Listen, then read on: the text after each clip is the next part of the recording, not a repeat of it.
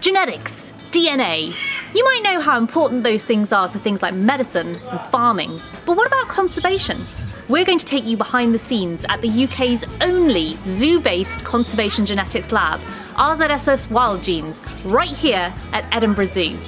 We'll find out about the cutting edge technology they're using to help save threatened species all around the world. So, let's go meet the team. Away behind the Rhino House here at Edinburgh Zoo is a high-tech genetics laboratory. Inside, the RZSS WildGenes team are working away on conservation genetics projects to help save threatened species from capercaillie to wildcat and crocodiles through to antelopes. This facility has been operating for over 10 years now, thanks largely to support from players at People's Postcode Lottery. Your genes are part of the blueprint that make you, you. But why is understanding genetics important for saving threatened species? To answer that, I'm going to hand over to Dr. Alex Ball, who heads up the WildGenes team and manages all of the conservation genetics work that we do here at RZSS. RZSS WildGenes is the only zoo-based conservation genetics laboratory in the UK. This puts us in a really unique position. We use genetics to tackle conservation priorities both in the UK and globally all around the world. We work in five main themes. Uh, the illegal wildlife trade, uh, in situ population monitoring of wild populations, ex situ captive management, ecology and uh, reintroduction and translocation projects. These are all really key priorities within conservation and we can use genetics in various ways to tackle each of them.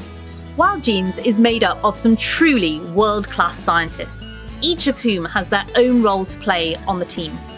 From skilled technicians to genius data crunchers, RZSS WildGenes has it all. My role is mainly performing DNA extraction. To extract the DNA, we obviously need animal samples. They can be from blood, tissue, hair, bone, even poo samples. It's also my responsibility to make sure these samples are stored and database properly. Knowing that the sample come from very endangered animal and across the globe, we want to make sure they are safe in our land. I'm proud to say my little role in this field has a big impact on global conservation. RZSS WildGenes works on lots of um, collaborative projects and in these projects we get sent lots of samples from either other zoological institutions that we work with or they might come from um, places in the wild where they've been collected by field researchers. So they'll send them here to the lab and our job here and what I do here is to take those samples and get as much DNA out of them as I can. We're getting lots of endangered species or understudied species like um, the scimitar-horned oryx and the addax and pygmy hippos. There's not been a lot of work done on them, so we have to take these tests that developed on similar species and then we have to optimise them, which means getting them to work really well for the samples that we're working on. The samples that Jen and Jal process produce huge amounts of data.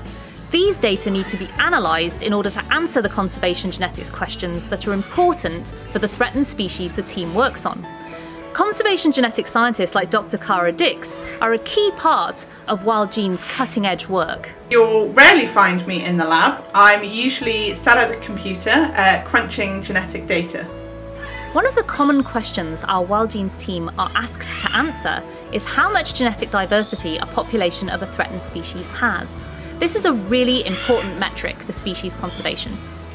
Genetic diversity is really important for threatened species because it allows them to adapt to a changing environment, for example climate change or diseases might, that might threaten the survival of that population. Clearly, the WildGenes team includes some pretty amazing people, but there are lots of other things about WildGenes that make it special too. The WildGenes is really unique being based at a zoo. We're on that interface between academia and applied conservation on the ground. And we're trying to bridge that gap, bringing techniques and technologies that are being developed within academia and research institutions and using them for applications that are going to make a difference to conservation.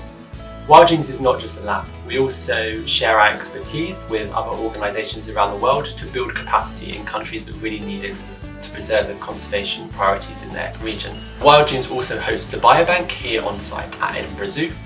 We collaborate with CryoArks and EAZA in hosting those biobanks and this is really important for long-term preservation of uh, genetic samples so we can also tackle new questions in the future. Hopefully, this has given you an idea of what the RZSS WildGenes team is all about and how genetic information can help save threatened species. Over the next two episodes, we're going to be taking a deep dive into some of the projects that WildGenes are working on right now. You'll meet species you may never even have heard of, from the smiling Siamese crocodile to the desert dwelling addax. Make sure you tune in to find out more about the wonderful world of wild genes.